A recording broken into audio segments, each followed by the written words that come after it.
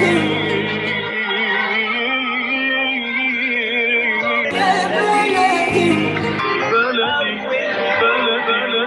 وسهلا بكل الذين ينضموا للاستماع إلى راديو بلدي اول راديو عربي أمريكي ويعنى بقضايا العرب في المهجر.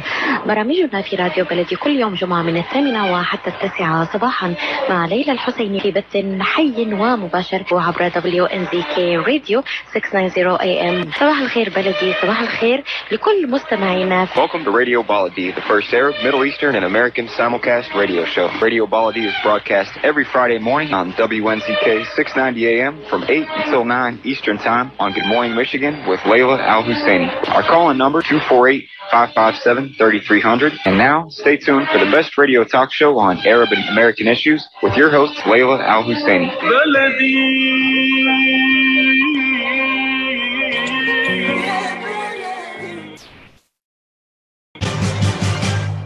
I am Atef Abdel Gawad. Join me the first Friday of each month at 8 a.m. Eastern Time.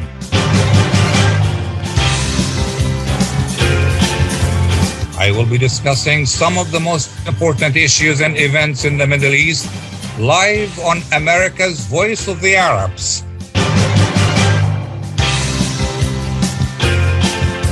WNZK 690 AM and WDMV 700 AM.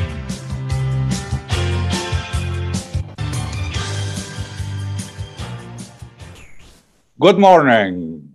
Huwaida Arraf is running for Congress. We'll ask her why she is running, among other questions. She's a Palestinian American human rights activist in Michigan. We tried to reach uh, out to another candidate for Congress in New York, Rana Abdul Hamid, but we did not hear back from her. She is another female running for Congress. So the question is why we are having more women than men running for Congress. We also have with us today two more guests who will discuss the challenges faced by Arab American candidates. Adel Mozip, uh, who may be stuck in a sto- snowstorm uh, at the airport in Michigan. Um, he sits on uh, the Board of Education in Dearborn, and Zienab uh, Fahs, who deals with um, perhaps on a daily basis with issues of Islamophobia and Arab phobia, phobia as a director with CAIR, Council on uh, um, American Islamic Relationship. Before we get started, um, here is a program note. We are coming to you not just on radio, but also on video. Go to the page, Facebook page of US Arab Radio, and you can watch us on Zoom. Again, US Arab Radio on Facebook. Also, because of the huge snowstorm uh, that is sweeping much of the US right now, we may encounter some technical problems. But let me begin by asking uh, Huwaida Arraf, why are you running for Congress? Thank you. Good morning, Dr. Atef. Good morning to all your listeners. Now, I am the daughter of working class immigrants, and now I'm a mom of two young kids myself. So I know the daily challenges facing working people good jobs, living wages, or rising prices, uh, housing insecurity, healthcare. My parents came to this country to give me and my siblings a chance at freedom and opportunity. And I'm grateful that my father found a union job. He worked so hard, and my parents were able to provide that for us. We didn't have a whole lot growing up, but I know that we weren't in want of anything. And importantly, I know I believed growing up that the sky was the limit. I could be whatever I wanted. And I don't see that same opportunity available for our children today. People are working as hard as ever and they can't make ends meet. I'm running for Congress because I'm frankly tired of seeing the rich getting richer while we're told that there isn't enough money to invest and uplift the rest of us. I'm running because Michigan families want and deserve good, well paying jobs, quality schools, uh, safe neighborhoods, resilient infrastructure, and we want healthy communities. And I want to be the voice of the people in Washington. I have fought for human rights for most of my adult life. I did a lot of work in Palestine on the ground in the occupied Palestinian territories. Uh, when I saw just flagrant human rights abuses before me, I see human rights abuses around me now in Macomb, Michigan. It's not the same that I saw in Palestine, but people are being abused and people are being denied. And that's because our policies do not center people and they do not center human rights. And I, I think it's enough. I want to be a, a voice of that, a conscious that we must put people at the center of our policies, uh, whether foreign policy or domestic policy. Uh, that is why I'm running. Okay, I will uh, have uh, more questions for you later on, but uh, let me go uh, with a question uh, to um, Adel Mozip uh, because he is stuck at the airport now and might have to leave us because of the snowstorm. Adel, can you hear me? Yes, I can, Doc. Can you hear me? Okay, well? okay. You have your own experience with election as an Arab American. Uh, you are right now on the Board of Education uh, in Dearborn. Um, but um, so the, the second time around, you won the election. But Actually, tell us about you. Uh, okay, so tell us about your experience, how you yeah, lost so, and how you won. Absolutely. So, um, first of all, my name is Adel Mozip. Uh, I sit now on the Board of Education of Dearborn Schools and also Henry Ford College. And I do software development for a living. Currently, I work for a startup uh, or a subsidiary of a staffing company where we teach uh, trainees uh, programming and uh, it's kind of essentially boot camps to get them to get to uh, tech jobs and, in, Fortune 500 companies. And uh, I'm fortunate to be in this country. I came in as an immigrant, as a 13 year old, joined father, worked for Ford Motor Company since 77. And uh, I, am kind of the poster child of a childhood or an immigrant child who comes to the US at a, at a young age and uh, to, to realize the opportunities while also knowing how little the opportunities were in my home country in Yemen, the country that is currently obviously destroyed, unfortunately. But um, I have high hopes that it, it will come back and, uh, as the uh, Arabian Phoenix. Um, so I came to the US at age 13 and I managed to get a high school diploma from Fordson High School go tractors. And then I went to U of M Dearborn, go blue, for my bachelor's, and then uh, MBA from Wayne State University.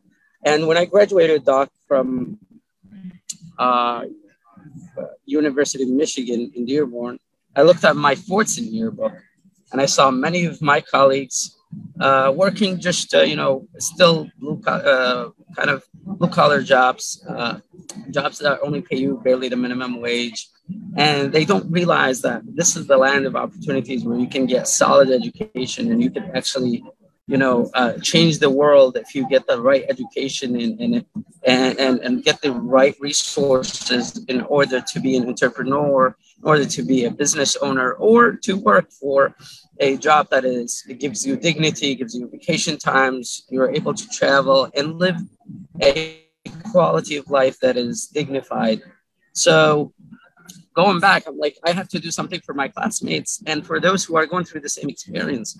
You saw kids who do not finish their education, kids that would drop out of school, um, girls that would marry early and, and, and forget about their aspirations of, of getting a, a higher degree. So I started the nonprofit organization chapter for the American Association of Yemeni Students and Professionals. And we started organizing in, in Michigan. And uh, starting in our own schools, the West schools that we went to, Fordson, Salina, um, at Ford, and then we started. I started getting involved, and then as I got involved, I realized that decisions are being made above the principal. Decisions are being made with the superintendent, and there is something called the school board. I'm like, okay, what does the school board mean? They said like you have to get elected by the people in order to oversee the school district you know, and, and obviously doing my research, and then there are public meetings where you can actually attend. So I started attending those meetings and voicing my concerns. Hey, guys, we could do this different. I've seen it where it could be done easily or something different. So not to take so much time, it's like I was like, I want to run for this board. I want to be part of this decision making process. And when I did that, I applied first in 2015 when there was a vacancy. I didn't get in. I wasn't even considered. It was like my application was just tossed. Although I have an MBA teaching experience and five years of working experience as a software developer. Um, 2016, I decided to run. I put in a campaign and I challenged two incumbents um, who were Arab Americans as well, Lebanese Americans to be exactly. And uh, they are now great colleagues of mine. But before that, they, fa- uh, they felt threatened that a Yemeni American is running in Dearborn. And we have to realize also the classism that unfortunately in the Arab world we do have, that Lebanese Americans feel like they're entitled to a lot of things. Now, some are unfortunately. Okay. Uh, absolutely. Um, so. Okay, I understand yeah. you are at the airport uh, so, now. Absolutely. And, and I'm actually the, on the plane right now and we're about to board, or actually the car. I, I know that you uh, may have to leave us. so I ran in 2016. Yeah, quickly. I ran in 2016. I lost, and then there was a 2017 vacancy. I was not appointed. They chose somebody else because of the connections. 2018, I ran again and I lost, and then 2019, I finally got appointed. And 2020, I got first place in the elections, and now I'm on the board. Thank you. Thank you very much. Uh, what uh, you you are? Uh, I was saying that you are at the airport now, uh, and and you have a snowstorm. So what does I'm already on the like? I'm already on the flight. So I'm sorry. You are already yeah, on. They're, they're asking me to leave. I'll, okay. I'll do confirm. Thank you. You're, okay, you are in control of your technology. Uh, okay, that's good. Uh, well, we'll get back to you as as uh, as long as you are you're still available. Um, uh, um, Zienab, um, you deal with uh, issues of Islamophobia, Arabophobia on a daily basis. But what is the most common form of, uh, of Islamophobia that you come across? Uh, that's a good question, Doctor. And good morning, everyone. Glad to be on with all of you. Um, I think it depends on who you ask. Islamophobia um, can reach us in so many different areas of our lives that I think it just depends on on how we receive it. So we have state sanctioned Islamophobia, which can look like a Muslim registry, uh, the Muslim ban, unwarranted surveillance on Muslim communities. We saw this a lot, not only here in Dearborn, but in New York City um, courts or jails banning women in hijab from entering. Um, and then we also have the Islamophobia, maybe that's more common to people, or that we can um, we can see from explicit bias. So harassment of women in hijabs, or uh, we see a lot of school issues, bullying from not only students but staff members. Um, we see policy and curriculum issues within our schools, whether um, curriculum is not uh, not checked and is using inaccurate information or Islamophobic information, uh, policy that doesn't allow students um, to go and pray or to receive proper accommodations while they're at school, um, which is something that they do have the right to do at a public school. So um, the list goes on and on in terms of what Islamophobia looks like, but I think it looks like something different for every person, um, and especially those entering the political arena. Um, but uh, Islamophobia can come to us in, in many different ways.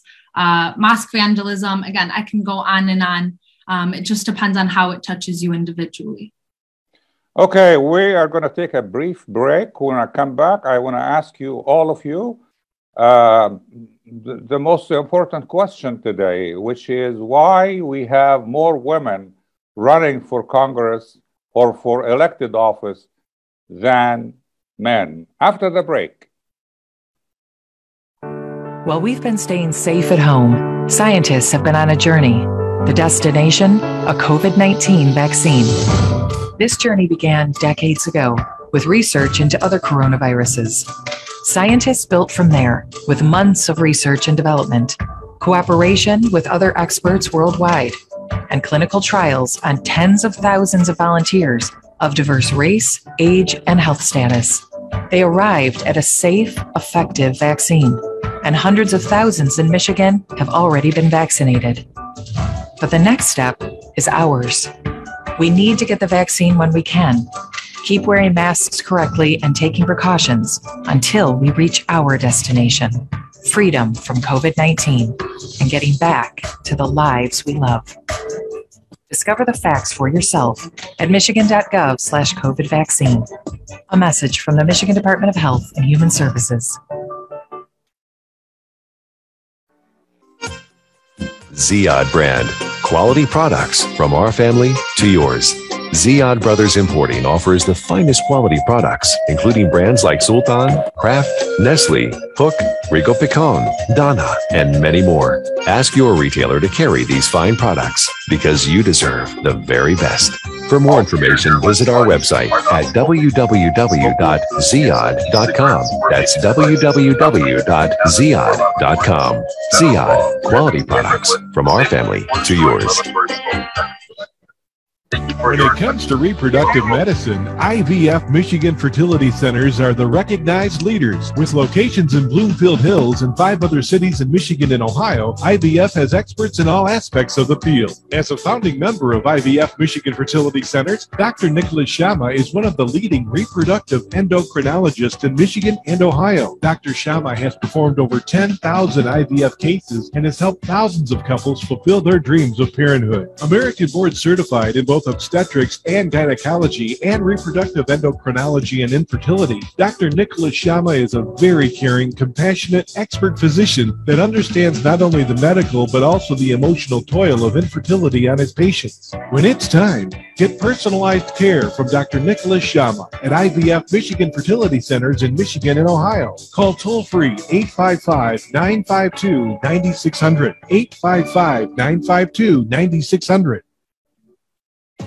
Get ready for an amazing experience at Ishtar Restaurant on 15 Mile Road in Sterling Heights. Enjoy excellent hospitality from owners Ali Al and Fatty Bonham, serving the best in Mediterranean food. Try Chef Ali Al famous shawarma, the best Iraqi grills and food, and the best Arabic and international dishes. Dine in our authentic atmosphere or take out. Call 586 698 2585 or check us out on Facebook. Ishtar Restaurant practices all CDC guidelines and is open every day 11 a.m. to 10 p.m. Have an amazing experience today at Ishtar Restaurant, 3625 15 Mile Road, Sterling Heights.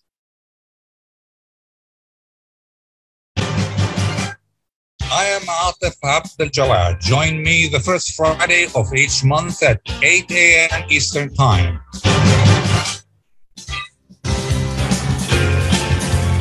I will be discussing some of the most important issues and events in the Middle East live on America's Voice of the Arabs.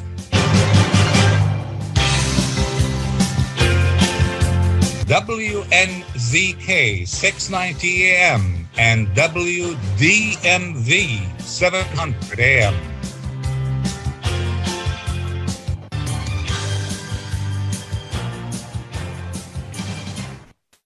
Welcome back to our discussion on Radio Baladi. We are talking about Arab American women running for Congress. And the question I have for everybody now, all my three guests, and I will start with uh, Mrs. Arraf, Huwaida Arraf.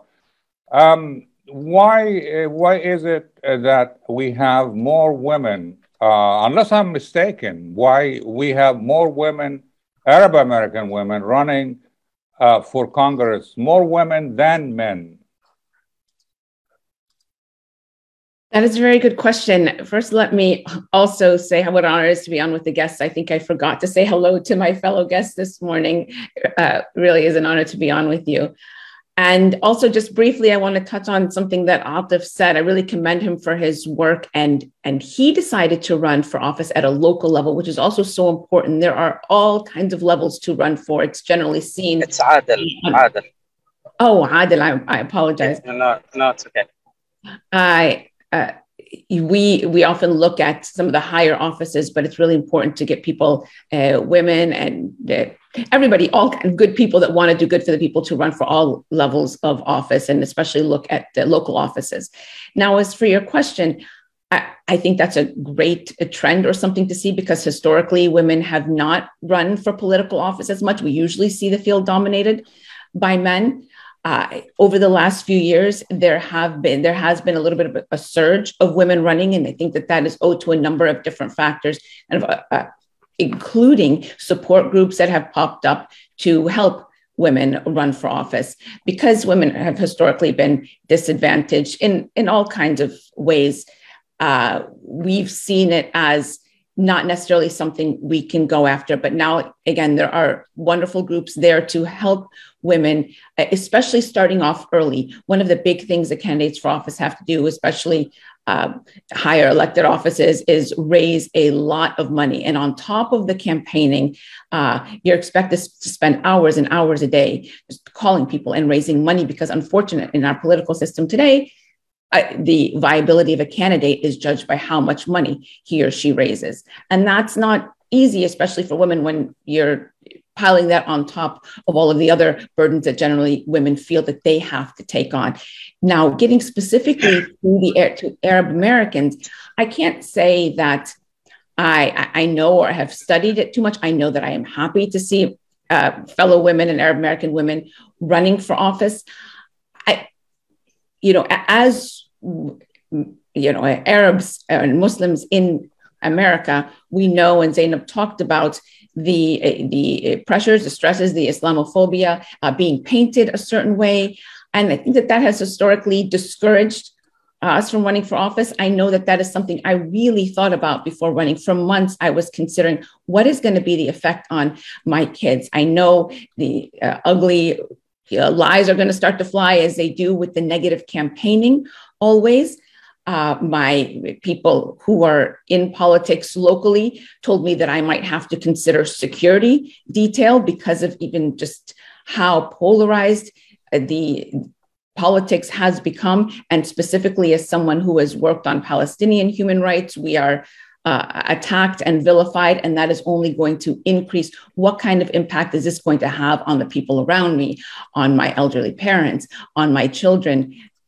Having to see this because I don't think I'm going to be able to shield them from the ugliness of the attacks that come. I know that I'm determined to run a very positive campaign and try as much as possible to steer away from that. But I know that it's going to come. And it took me honestly months to decide that as difficult as as this might be it is the right thing right. to do because more than anything i want to show my kids other women arab women that we can take our energy and our skills and our love to places of, of power and and policy making if i may uh, okay yes Adel. yeah go ahead Adel. I, I think, I think the perception let, that let me just say can you hear me or not let, I can hear you, but let me okay. just tell you that you provide us with a unique experience. You are our Absolutely. flying guest. no, no, no. Thank you so much. I, I truly appreciate it. Um, I don't see the audio, so please tell me that you're still hearing me. Okay, you are still here. Okay, great. So uh, I think the notion that you're putting, Doc, is somewhat uh, I don't want to say uh, misguided, but uh, rather than probably because we're seeing a trend now of more Arab Americans running, and we see more of them as women, that we think, oh, more, more women are actually in office. If we currently look at the state House of Representatives, the majority are still white old men. So um, oh, yeah, I agree. There's yeah. What was that? Oh, I agree wholeheartedly. I am yeah, yeah, yeah. And, and, and, the state, and, and that's not to con- for sure. Yeah, yeah. That's not to even consider uh, the Senate the Senate is even more uh, undiversified. Um, so because we're seeing this trend doesn't really mean change the reality. The reality is that uh, you know public offices, whether they're school boards, city councils, or even at the state house or the state senate or even Congress, we're still uh, miles away from having true reflection of the uh, population.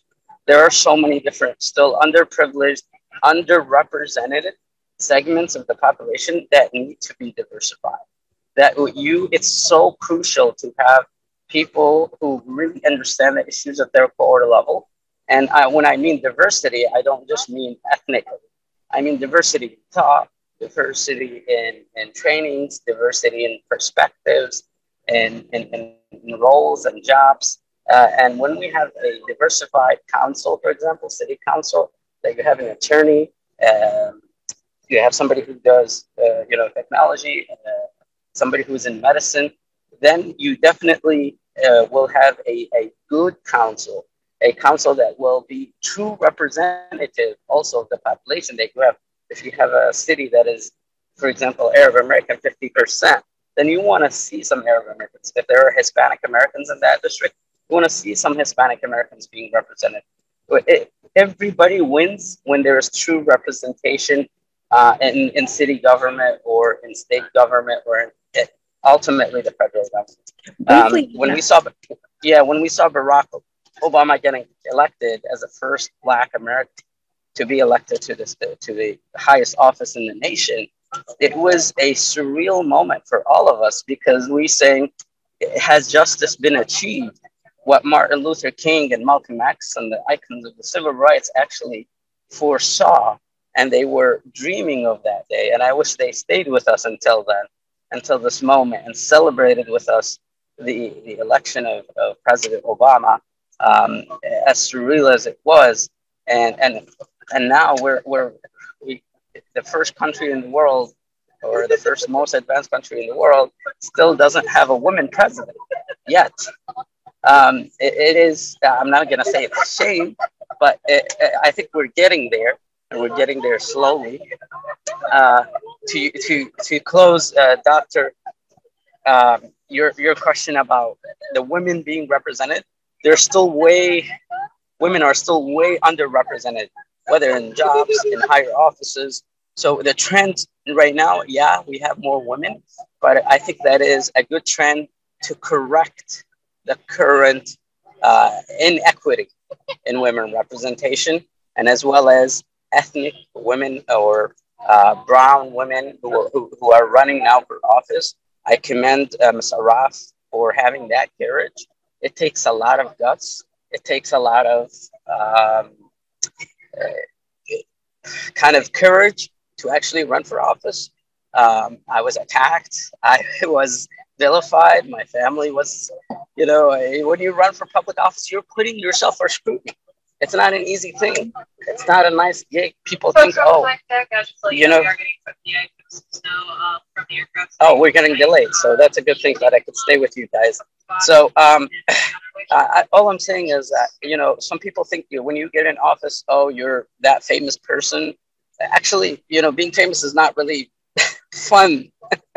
when when my wife, when I and I we go to a restaurant and I know everybody there, she gets really bothered by it. So it's it's not all uh, rosy pictures and and things like that. And it, losses, a loss, and especially a loss after a loss.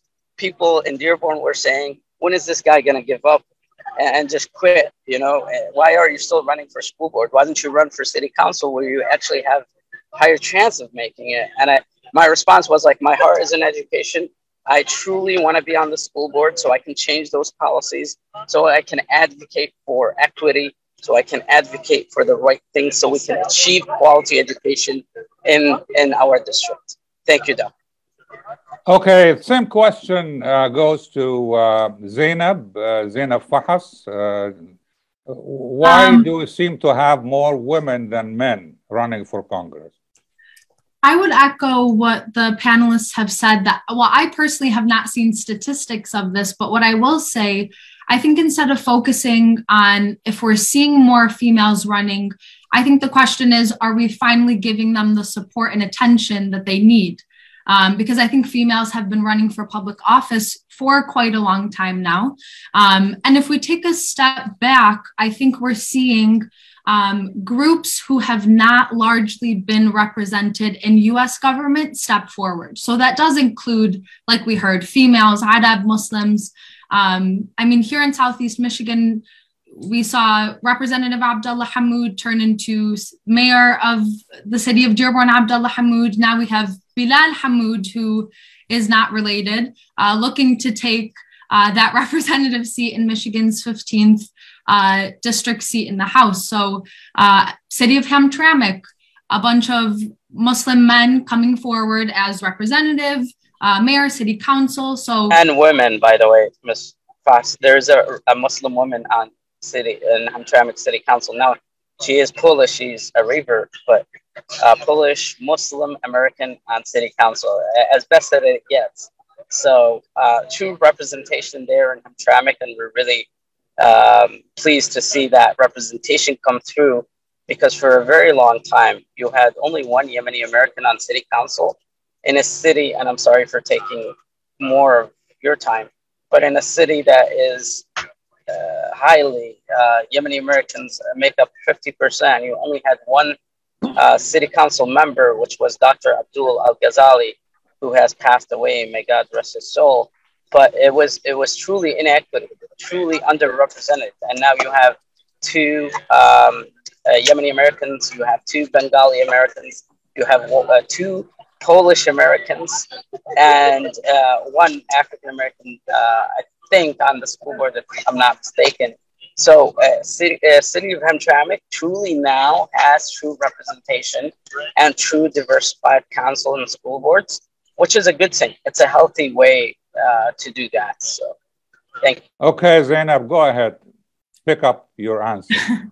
That's okay. Uh, my point was just that I think we're seeing uh, more people come forward, and I, I, think that's based on inspiration. We're asking why are we seeing women come forward, but I think groups that have not largely been represented in U.S. government in the political arena are are feeling encouraged more than ever because representation to me when I was a little girl was seeing a Muslim woman in hijab walk in my local grocery store. And I thought, wow, there's other Muslims here in a non dominant, you know, Muslim city.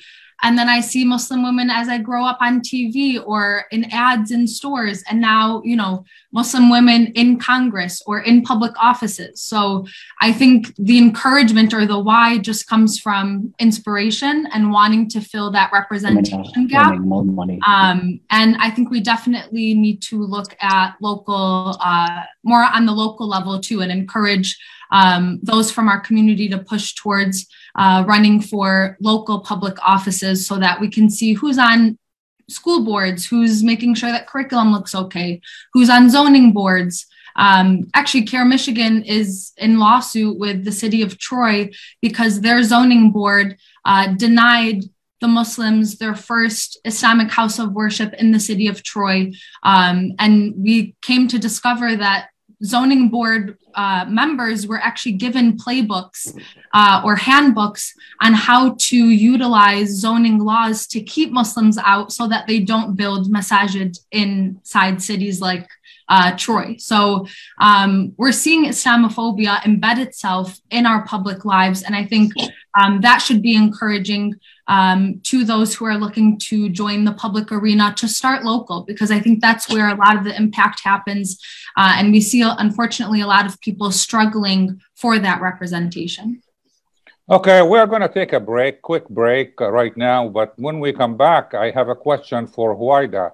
Uh, and that is, uh, we have currently we have about two Arab American uh, representatives uh, in the U.S. Congress. Do you have a role model to uh, talk about when we come back from the break? What's my ETA? Your estimated time of arrival is 9:17. I'm late. I'll have to punch it. Speeding will save you just 1 minute and 36 seconds. It will also increase your risk of a crash, as well as the odds that you will be stopped and issued an expensive speeding ticket. Yeah, but. In one year, there were 22,000 speeding related crashes in Michigan, resulting in 200 deaths. If I had someone in the car with me, I'd drive slower. But it's just me. This is not a logical response. Though you have no passenger, surrounding cars contain 27 others, including five children and one Labrador retriever. How do you know all this stuff? I know everything, Kevin. Your risk of a crash increases with every mile you drive over the speed limit. So slow down. Speed enforcement is happening now. A message from the Michigan Office of Highway Safety Planning. اثنين ثلاثة أربعة خمسة ستة سبعة Kashat's Mediterranean Market in Shish Kebab offers a great array of your favorite Mediterranean meals. Meals range from lamb specialties, shawarma sandwiches, and seafood dinners. Plus, they offer big trays of your favorite food and so much more. Kashat's Mediterranean Market in Shish Kebab is located at 32839 Northwestern Highway in Farmington Hills and is open from 9 a.m. to 9 p.m. So stop in or call Kashat's today at 248 538 9552. That number again, 248 538 9552. Kashat's Mediterranean Market in Shish Kebab will definitely leave you satisfied. At Top Rehab Physical Therapy Clinic in Dearborn, we provide effective physical therapy sessions in order to limit pain and discomfort. Top Rehab provides physical therapy care for any diagnosis prescribed by a physician, and we regularly see and treat conditions such as stroke, TMJ, fibromyalgia, sciatica, joint pain, and more. We use a variety of pain management methods, including modalities, soft tissue mobilization, and therapeutic exercise. If you're in need of physical rehabilitation or physical therapy, get the highest quality health care at Top Rehab. Most insurance is accepted, and we're open Monday, Wednesday, and Friday 8 to 6, Tuesday and Thursday 8 to 5, and Saturday 10 till 2. Call for an appointment today at 313 846 0555. That's 313 846 0555. Choose Top Rehab Physical Therapy Clinic on Michigan Avenue in Dearborn. Life's too short to be in pain. Enjoy the first Syrian style cuisine in Michigan. At Damas Cuisine and Catering, you'll find a wide selection of Syrian foods and sweets in our menu, like frike, hoisin, grape leaves with steak, mishawi platter, hot mahashi, char grilled kebab, shawarma, and much more. Get super fast delivery from Damas Cuisine and Catering right to your door. Order online at damascuisine.com forward slash menu and track your order live. Damas Cuisine and Catering, 28841 Orchard Lake Road in Farmington Hills. Call 248 987 4985. I am Atef Abdel Gawad. Join me the first Friday of each month at 8 a.m. Eastern Time.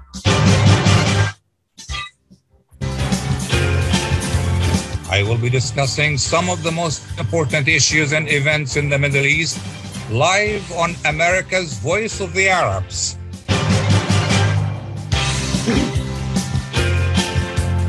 WNZK 690 AM and WDMV 700 AM.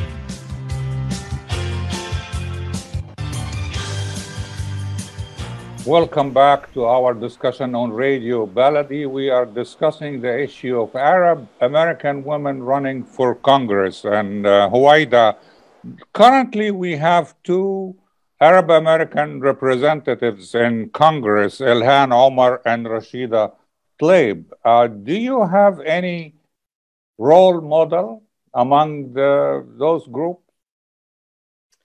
You know, I'm frequently asked if there is a member of Congress that I would like to model myself or that I admire. And I, I say that there are many, actually. I really respect the uh, roles that Congresswoman Tlaib and uh, Omar have uh, stepped into, and they have faced brutal attack, and they've withstood those attacks, and that has been really important.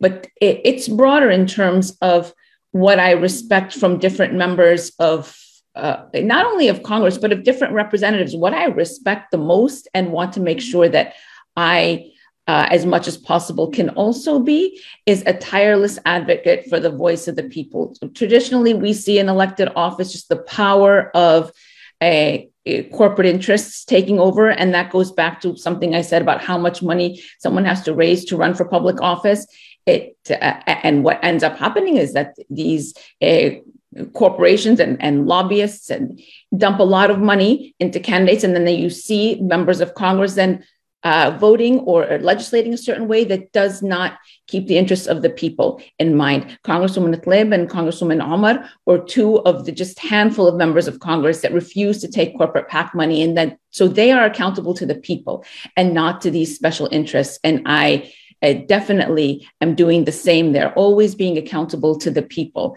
uh, that and advocating tirelessly for the people. When I first got in, a, a sitting member of Congress uh, tried to compare me and tried to say, oh, she just wants to be another member of the squad or modeling herself after Bernie Sanders. And I said, you know, not really, but I am honored to be compared to the members of of our legislature, of our Congress and Senate that stand out as being tireless advocates for the people. That and it, just one thing that is, I think, so important that goes to what uh, Zienab and what Adel have spoken to in terms of representation and getting to the level of representation that we want to see uh, uh, legislating at all levels.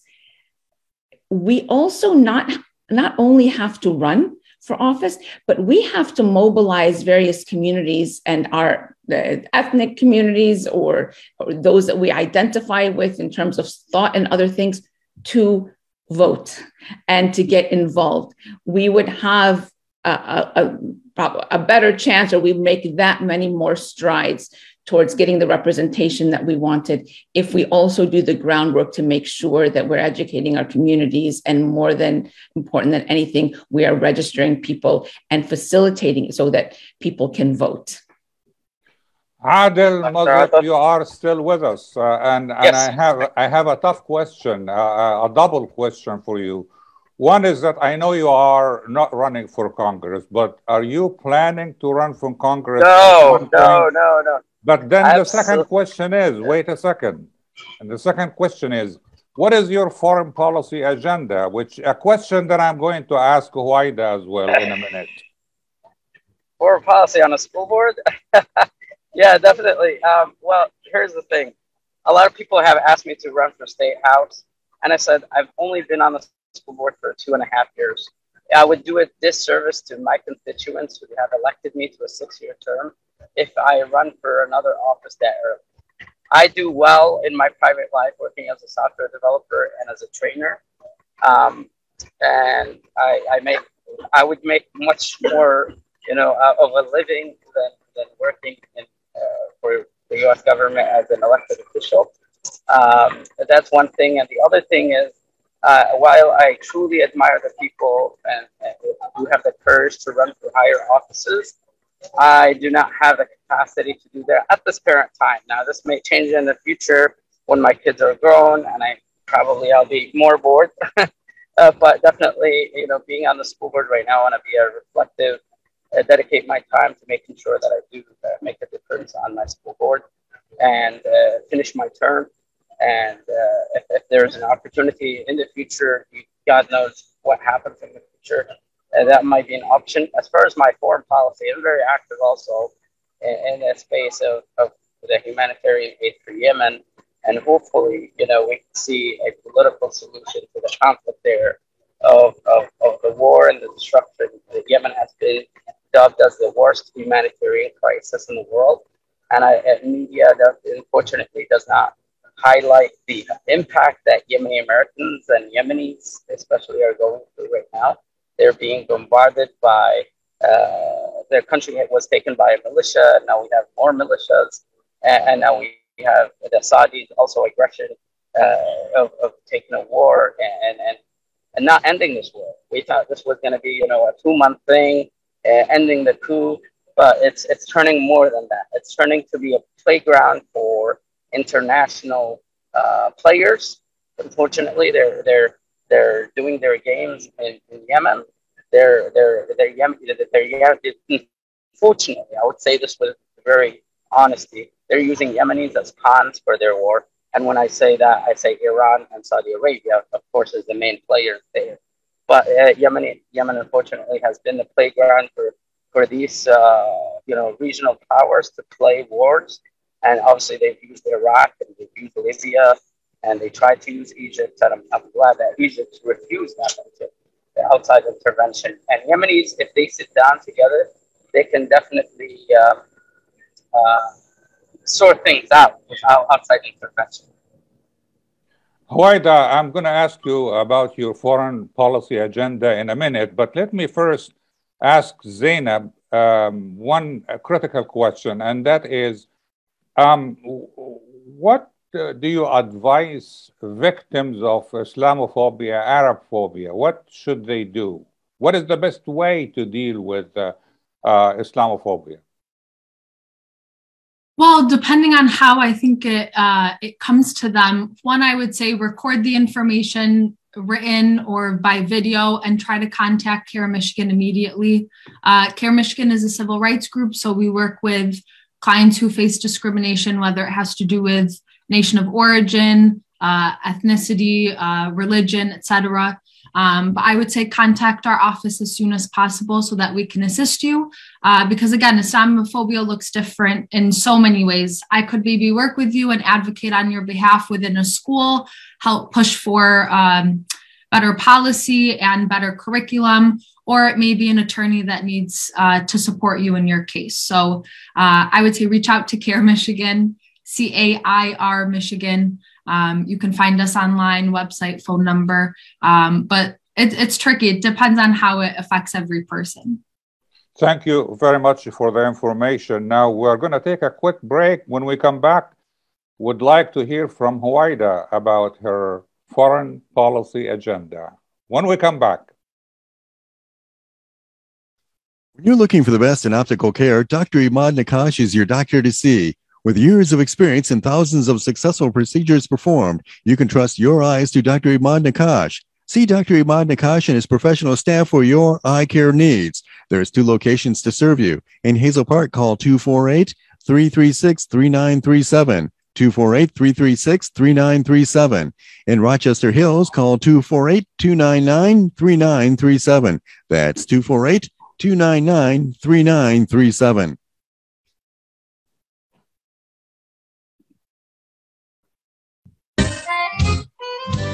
Are you going to start a restaurant or a grocery store soon?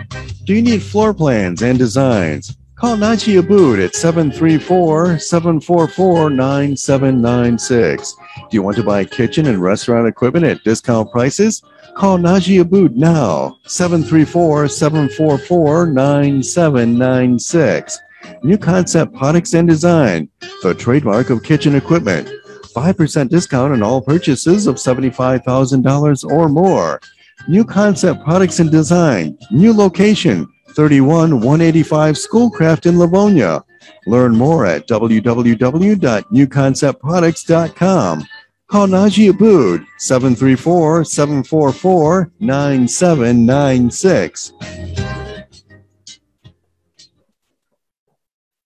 Are your hands feeling numb? Do you feel pain opening up a jar, turning a key?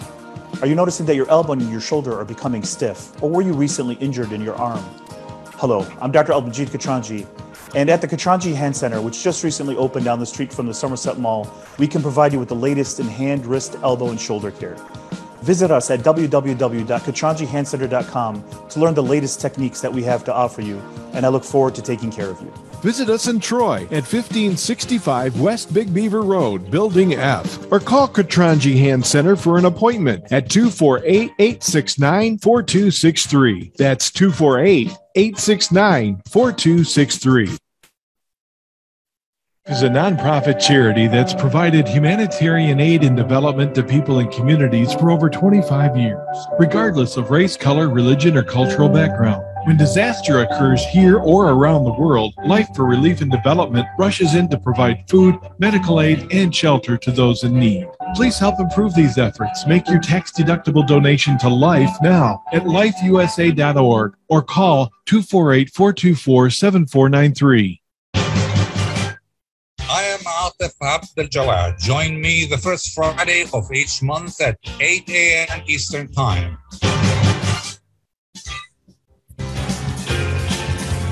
I will be discussing some of the most important issues and events in the Middle East live on America's Voice of the Arabs.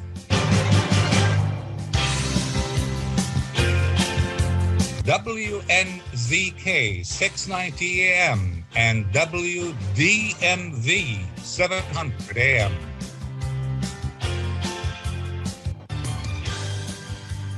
Welcome back to our discussion on Radio Baladi. We are discussing um, Arab American women running for Congress, and this is the last segment of the program. And um, my question, Huwaida, um, the, when, when I asked you why you are running for Congress, you talked about uh, how you would be looking for good paying jobs for your people, uh, becoming um, uh, a voice uh, for your Michigan people in Washington. You did touch on uh, hum human rights for Palestinians, but what else? I've been mainly uh, speaking about issues that affect my local community because that is, these are the things that my constituents uh, and voters here uh, are concerned about, mainly things that affect their daily lives. You don't generally find members of a voting uh, population, and specifically where I am in Michigan, uh, paying a whole lot of attention to what happens in foreign policy uh, US foreign policy. So it's not something that I've been campaigning on, but as far as my or, or, what my stance would be, what my position would be, there are a lot of different individual uh, issues, obviously, that I can comment on, but it comes back to one main principle in that we have to put human rights at the center of our policies. That includes foreign policy. I think once human rights are, we set that as our moral compass, anything else that we are doing as a country uh, internationally becomes a lot more clear. I have spent years and years of my life uh, on the ground in the occupied Palestinian territory. It saddens me not only the brutality that I've seen there by Israeli state government forces against the Palestinian people, but that my government, the United States, where I pay taxes, where my parents have paid taxes, and that is going to contribute to the oppression of people. And it's not only in Palestine where US foreign policy is not doing what we say we stand for as a country. I remember as a young girl being so proud of being an American.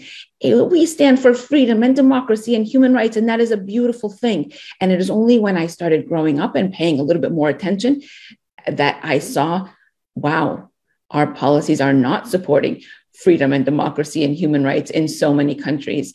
And that was shocking. That uh, changed the trajectory of what I did with my life. And I, I, set me up for con- you know becoming a human rights attorney staying an activist and campaigning member uh, lobbying uh, you know legislators to do what's right to actually do what you say we stand for and going back to you know most voters in in this district probably don't pay a lot of attention that is why this country is able to do what it does internationally because we talk about freedom, human rights, and democracy, and most people are not paying attention to see that our policies overseas are not actually implementing that. And in many cases, unfortunately, are stymieing that. And so I will be an advocate for human rights. And it's not just in Palestine. When we're talking overseas, we heard about Yemen, in so many other places, in Bahrain, in Latin America, where a, the US gets involved in a way that hinders freedom and human rights rather than uh, supports it. Only a couple of months ago, we saw a huge military aid package go to Saudi Arabia, and Saudi Arabia is we know what it's doing to the country of Yemen. It's created the, you know, the largest humanitarian crisis uh, on the planet today. This is not something that if people here actually knew the details of that they would stand for. So in my uh, campaigning and everything that I do, again, centering human rights, while here I will focus on more domestic issues. When people know of my background and the work that I've done, they ask, and I go back to saying, people everywhere inherently want the same thing. You know, we want uh, we want a, a, life with freedom and dignity, whether that be in Yemen, Palestine, uh, Venezuela, or here in Macomb County.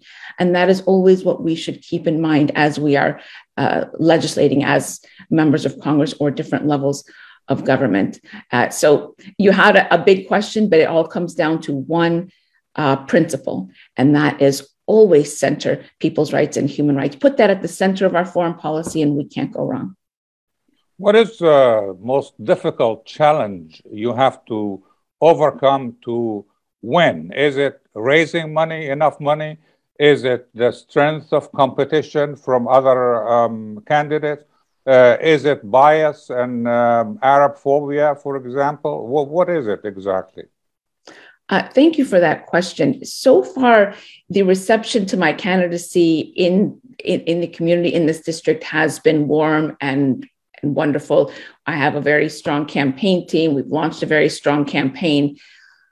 But uh, as well as we're doing on the ground now, and we intend to increase and make the center of our uh, or, the focus of our campaigning voter outreach, try to talk to every single person that we can we know that when dark PAC money comes in, when outside interest, the money of outside interest come in, they're going to have a lot of money to start attacking me by, for example, running commercials, which is very expensive. But if they are able to get on the airwaves with just one commercial, for example, saying Waid Arraf supports terrorism or something like that, that we know our lies and only comes because of who we are and the principles that we hold, uh, that is that's going to take a lot of money to challenge.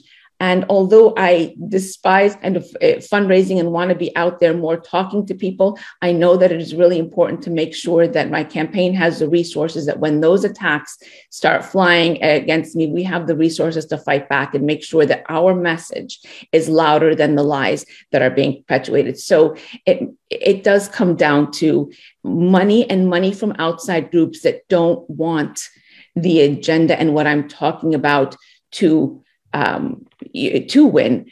Don't want people like me who support uh, people's rights over, for example, uh, big corporations when we're talking domestically, or when I say Palestinians need to have human rights, or when I say that we should not be supporting war machines in other countries. There are big interests that don't want that and work against that. And how are they able to successfully work against that? They have a lot of money to do it. But I firmly believe that, okay, we don't have the endless well of money that they might have, but we do have a lot of people power. And if we mobilize that correctly, we can stand up to it. And this is a, I am 100% confident that this is a seat that we can win. If everybody that is interested in someone, you know, something, what I stand for, if people want to see someone like me and what I stand for in power, to get in touch with my campaign. And you know, there's something that everyone can do, and we all band together. I think we can defeat those uh, those with endless resources to advocate the opposite. Okay, I, I'm not sure whether Adel Mozip uh, still with us or did he um, did his flight uh, uh, take off in the snowstorm? But it looks like he is not there. So Zienab, um, again, uh, from your experience, what would be the most difficult challenge for uh, an Arab American or Muslim American uh, candidate for any elected office? Well, I want to start by saying I feel like, uh, to clarify, we keep throwing around Arab and Muslim, and at times those are going to be two groups that don't align on all issues. If we look at the Arab community in the US, majority of of people who came from Arab countries are Christian. And then if we look at the Muslim community, uh, majority of the Muslim community is not Arab, they're actually Black. Um, so I think we have to realign how we talk about Arab Americans and Muslims and not intertwine them. But I think for Muslims running for office, um, I think there's a few issues. What we just heard is the large Islamophobia network that's working against Muslims uh, especially in the political arena, especially holding public office. Um, just a few weeks ago, I think CAIR put out a report uh, highlighting uh, the Islamophobia Network, which is over two dozen organizations um, in just a few years who received over $100 million to do just that to spread misinformation about Muslims, um, to perpetrate these stereotypes, to really hinder the ability for American Muslims to do their best to mobilize and grow, uh, et cetera. And, um, you know, that is a, a real, real hurdle for somebody running in public office. Um, there's another group, Investigative Project for Terrorism. They're a nonprofit led by a very well known anti Muslim extremist, Steve Emerson, um, who's been paying informants to spy on Muslim advocacy groups, to spy on elected officials such as Representative Keith Ellison, who was the first American Muslim to sit uh, and serve in the House of Representatives. So we know that there are these external forces And there's a number of reasons. They want to diminish our work, they want to make it seem like Islam is not even a religion, therefore, it's not protected under the Constitution. Therefore, we don't have the same rights.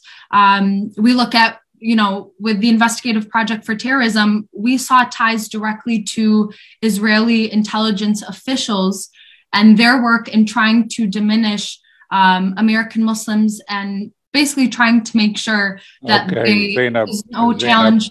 Zienab Fahs, I'm sorry to interrupt you, but we are running out of time. Thank you very much. I also thank, extend my thanks to candidate Huwaida Arraf and also thanks to Adel Mozip.